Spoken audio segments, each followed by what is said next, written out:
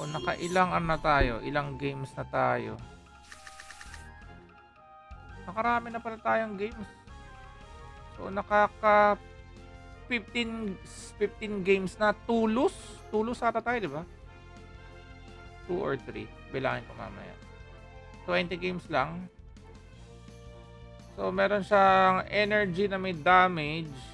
May aquaponic sa likod. Tapos may vegetal bite tsaka carrot. Tayo naman, puro energy gain lang tayo. Wala tayong magagawa.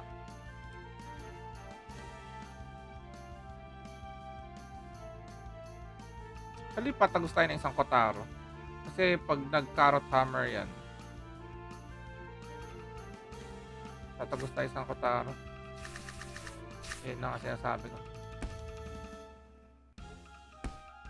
At least mabawasan na yung buhay.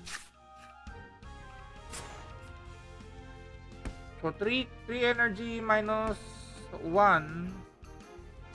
plus 2 4 energy. 6 energy. 4 energy siya mamaya. Prickly prickly. Ah sakit. Grabe. Prickly prickly. Eh no?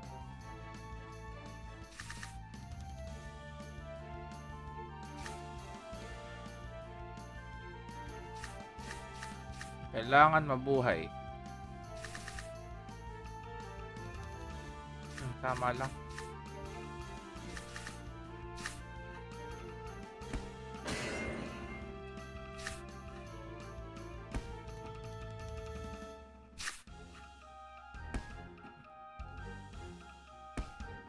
Kaya maganda rin ang aqua na top bottom eh. Tapos self heal. Malilito yung atake.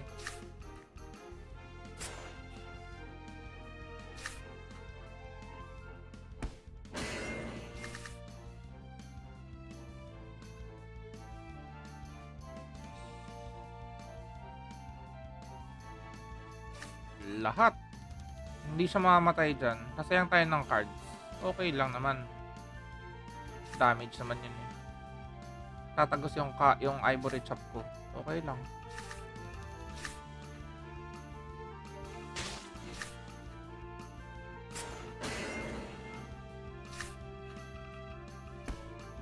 Hmm, kalain mo yun no.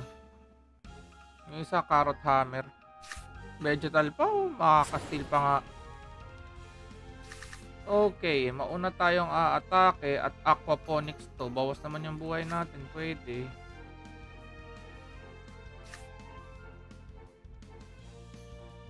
Sa kanya. Damage, tsaka aquaponics. Sa huli, aqua vitality.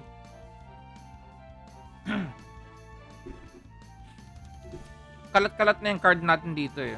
Kasi ano, kasi tatlo pa aksi natin. Dapat may, may mamatay talaga dyan.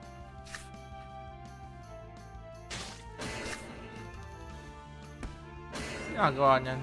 Add 20 shield to this axe when played in chain. Alam siyang chain.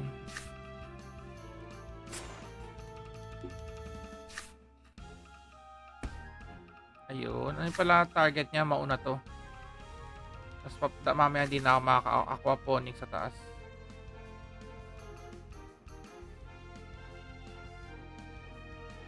Bibigay na natin yung top.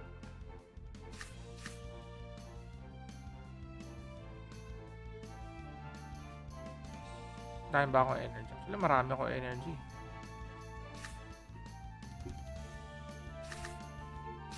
Pinakas niya pa ako? Lala.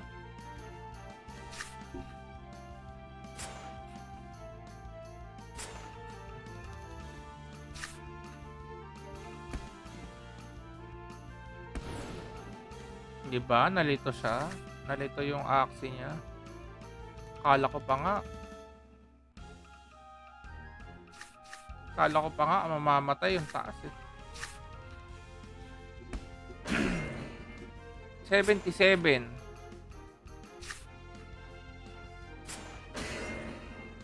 na, sa taas naman umatake. Litong lito na yung axe niya. Hindi niya alam kung saan na-atake. Taas ba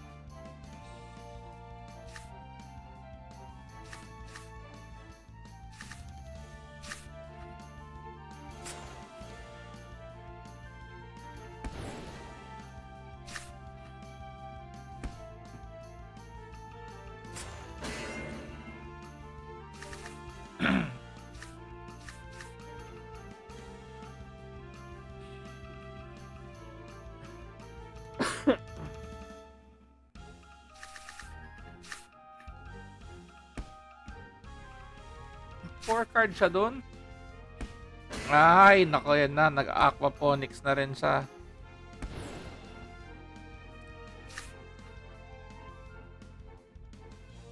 Dito tayo makakalaban ng aquapon.